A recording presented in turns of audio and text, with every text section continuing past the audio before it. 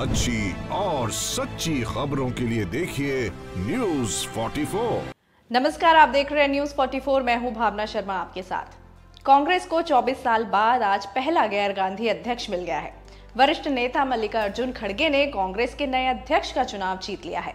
उन्होंने शशि थरूर को भारी मतों से हरा दिया है। कांग्रेस के अध्यक्ष पद के चुनाव में मल्लिकार्जुन खड़गे ने सात हज़ार आठ सौ सत्तानवे वोट अपने नाम करके जीत हासिल कर ली है, जबकि शशि थरूर के हिस्से में करीब हज़ार वोट ही आए हैं और 416 वोट खारिज कर दिए गए हैं।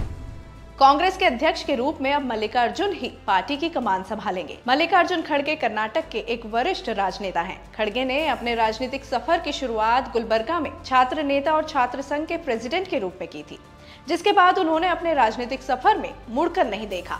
और भारत की राजनीति में एक अहम और महत्वपूर्ण राजनेता बनने में भी कामयाबी हासिल कर ली। हाल ही में हुए कांग्रेस के पार्टी के अध्यक्ष पद के चुनाव में मल्लिकार्जुन खड़गे सबसे मज़बूत उम्मीदवार बने हुए थे। खड़गे कर्नाटक के गुलबर्गा से कांग्रेस सांसद के रूप में चुने गए थे। वो भारत सरकार में पूर्व रेल मंत्री भी रहे हैं। उनको एक स्वच्छ सार्वजनिक छवि वाले सक्षम नेता के रूप में देखा जाता है।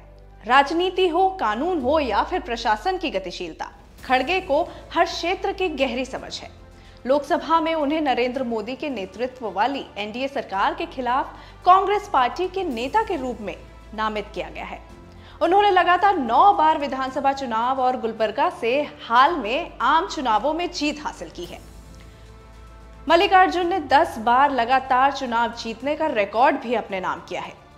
खड़गे कर्नाटक से अनुसूचित जाति के सांसद हैं और वो 40 साल तक विधायक और 5 साल सांसद भी रहे हैं।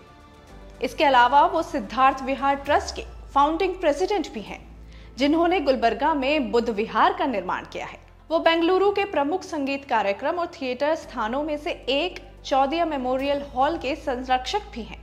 हर क्षेत्र की अच्छी समझ रखने वाले खड़गे ने अपनी शुरुआती शिक्षा गुलबर्गा के नूतन विद्यालय से पूरी की। गुलबर्गा के गवर्नमेंट कॉलेज से उन्होंने अपनी ग्रेजुएशन की है। उन्होंने सेठ शंकर लाल लाहौटी लॉ कॉलेज, गुलबर्गा से अपनी लॉ डिग्री हासिल की है। किताबें पढ़ना लॉजिकली सोचना, अंधविश्वास और रूढ़ीवादी प्रथाओं के खिलाफ लड़ाई लड़ना जैसी गतिविधियों में मल्लिकार्जुन हमेशा शामिल रहे हैं। इसके अलावा उन्हें कबड्डी, हॉकी और क्रिकेट सहित खेलों में भी रुचि रही है। अब अध्यक्ष के रूप में कांग्रेस पार्टी की बागडोर उनके हाथ में है। उनके समर्थकों को उनसे काफ़ी उम्मीदें हैं। देश और दुनिया की बाकी तमाम खबरों के लिए देखते रहिए न्यूज़ 44 अच्छी और सच्ची खबरों के लिए देखिए न्यूज़ 44